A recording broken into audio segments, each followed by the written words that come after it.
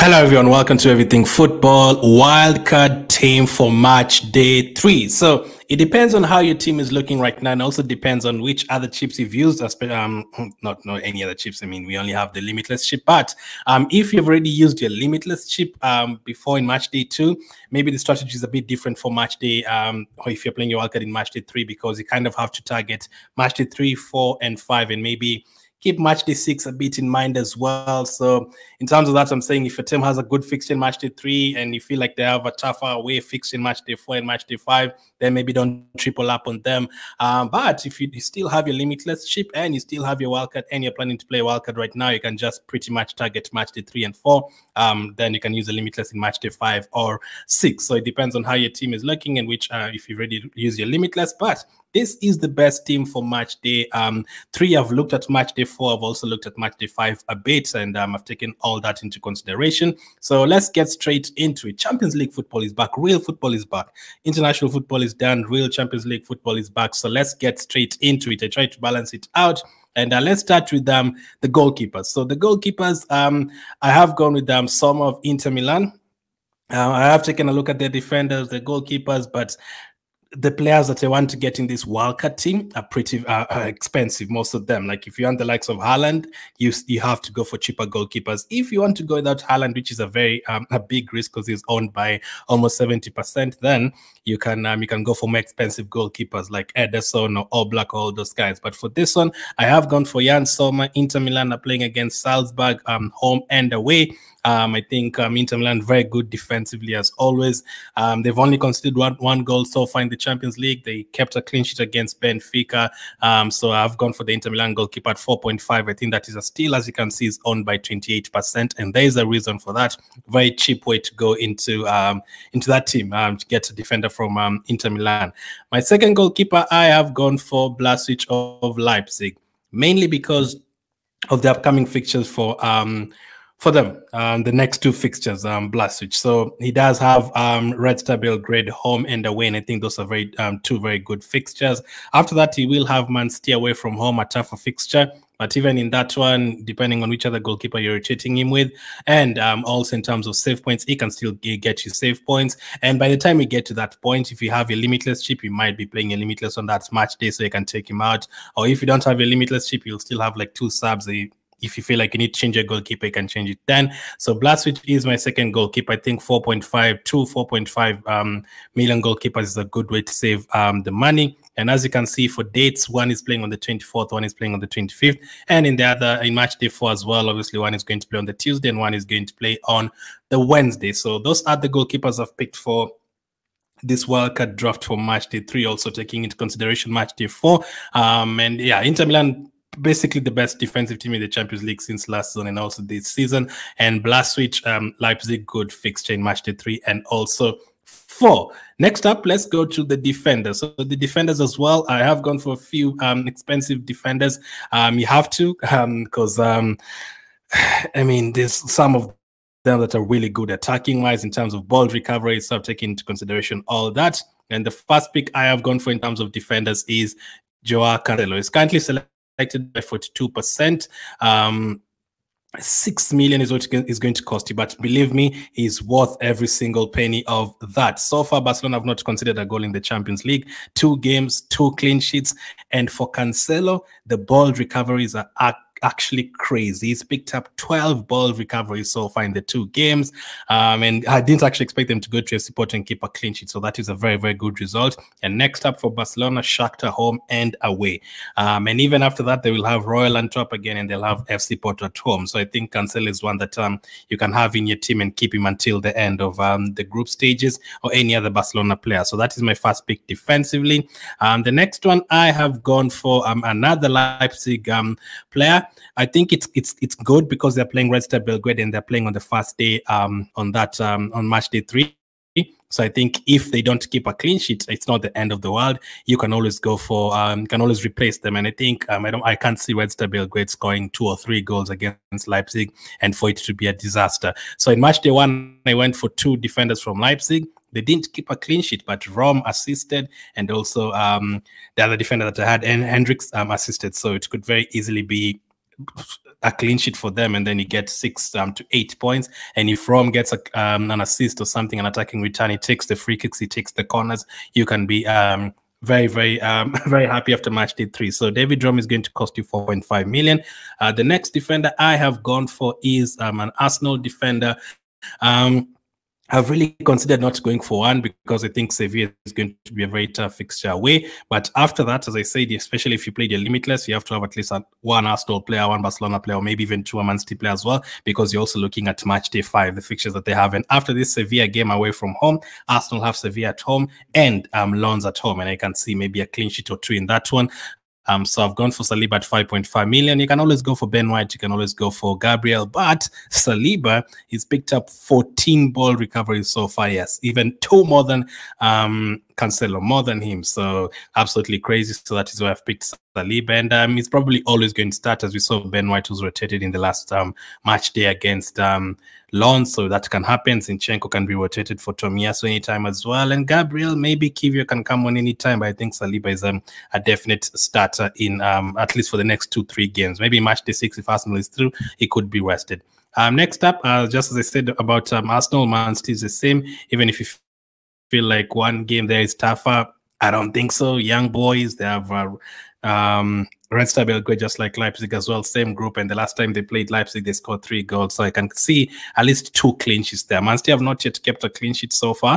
Um, I think they, they won 3 1 in the second game. I think they considered again. They definitely considered against Red Star Belgrade. I think they considered against Leipzig as well. I think I saw Openda scoring. So Man City have considered in both games. No clean sheet so far. But I can't I can't see them finishing the whole group without um, keeping any clean sheets. So I have gone for Kyle Walker, 5.5 uh, million. I think there's a couple of clean sheets there. He might be rested someday. Um, I, I, can't see him playing all the games, but hopefully the games that he plays, he can keep a clean sheet and get an attacking return. And finally, the last defender I've gone for Atletico Madrid. I've gone for Molina. Two games so far this season. He's kept two clean sheets. I had him in my limitless team last time. He didn't keep a clean sheet. Atletico Madrid have been conceding a few goals in the Champions League, but in terms of attacking, he got 11 points so far this season. So that is a good return. So um, let me know what you make of this defense in terms of a wildcard, a Barcelona defender, a Leipzig defender, an Arsenal defender, Man City defender, and also an Atletico Madrid defender. Um, next up, let's go to um, the midfielders.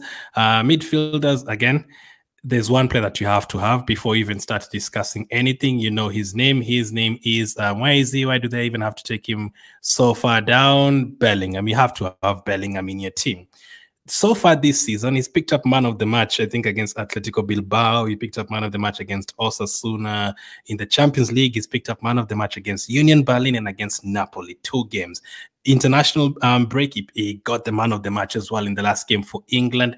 And that player of the match, those extra three points can be really decisive. So he's a player who so far this season in club football and international football, I think he has like eight man of the match awards or maybe even more than that, which is absolutely crazy. So that is almost a guaranteed three points to go alongside a guaranteed two points for him playing 60 minutes plus. So, um, and on top of that, he's already scored two goals and he's already gotten an assist so far in the Champions League this season. Plus, eight ball recovery. So this is an all-round player. Um, his price has already gone up for seven from 7.5. I'm guessing many of you already had him. Um, but if you didn't and you're trying to get him in, you're going to have to pay 0.1 million more, which is going to take um, which um he's totally 7.6 million right now. So Bellingham 7.6 million. Um, so you have to have him in your team before you're even debating anything else. The next one I've gone for Barcelona player um, because I think Barcelona have those good fixtures against Shakhtar home and away. And um, I've looked at their midfielders because their forwards, yes, you can go for Lewandowski and Joao Felix, both of them, but that um, also kind of makes you not go for like someone like a Gabriel Jesus or Man United striker or Harry Kane for Bayern Munich or Haaland for Man City. So if you go for two Barcelona strikers, you're having to um, go without one of those um, top strikers. So I've gone for Gundogan, um, 16 points so far this season. Uh, he assisted in both games. He picked up the match in the last match as well against FC Porto. He's currently selected by 8%. So good, very, very good. He can take a few free kicks as well. Um, he used to take a few penalties at Man City. I'm not sure he's going to take um, any at Barcelona, but who knows? He might end up taking um, one or two if they get, or maybe one. Two is a bit of a stretch. So Gundogan at 8 million, I think, is a good price. Next midfielder, I have gone for is um Bayern Munich.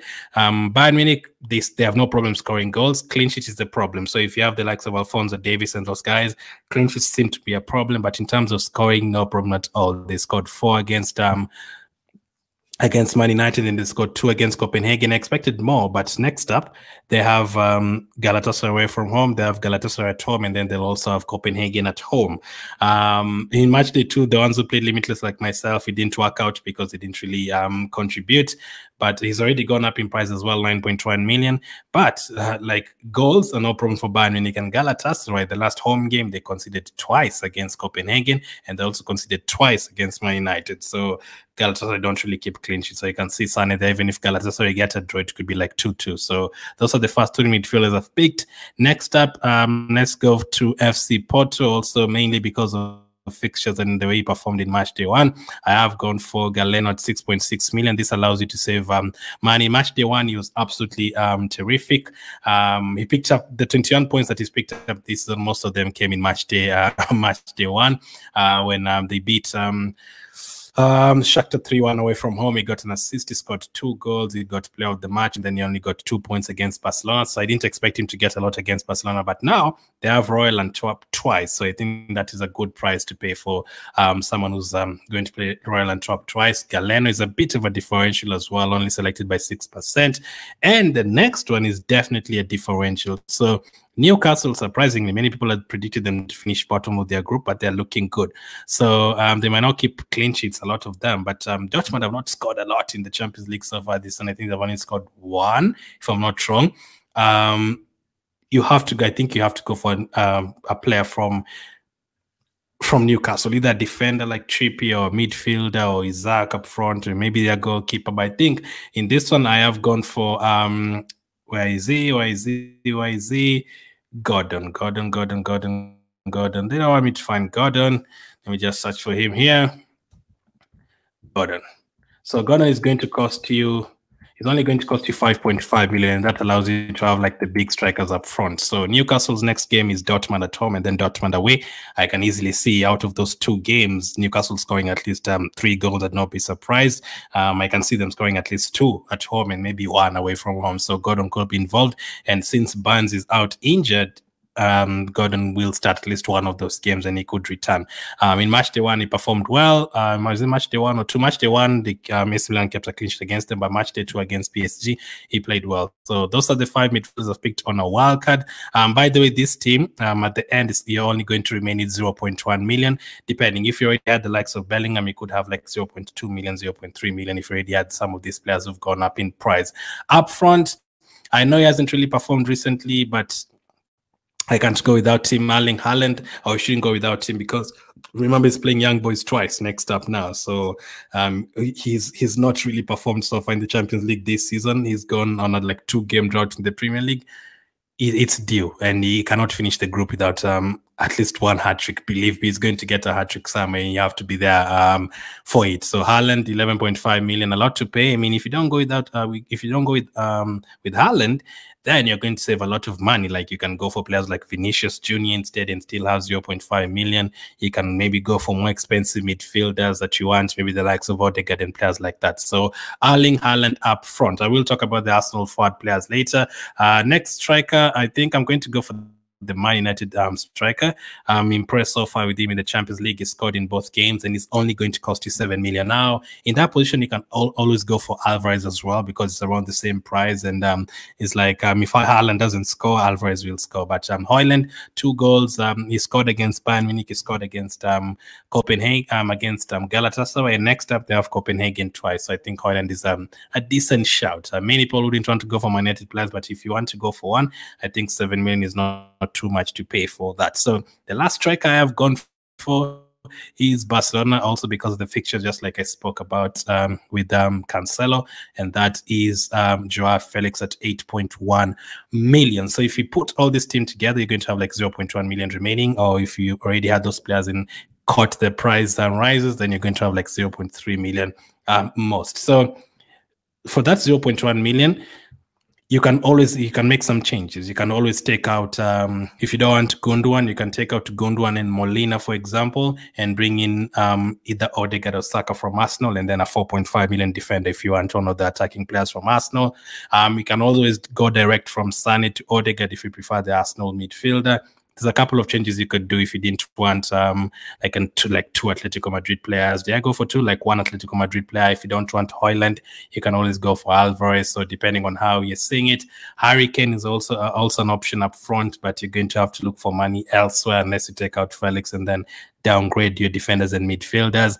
It's very difficult. If you want to have Haaland, Bellingham, Kane, Son, it's very difficult to have all of them. Plus, have all um, the likes of um, canceling the team. It's very, very difficult. So that is the um, wildcard team for match day three. Let me know what you make of that. Are you going to go for any of these players? Are you playing your wildcard? Let me know in the comment section. Thank you for watching, and I'll catch up with you on the next one.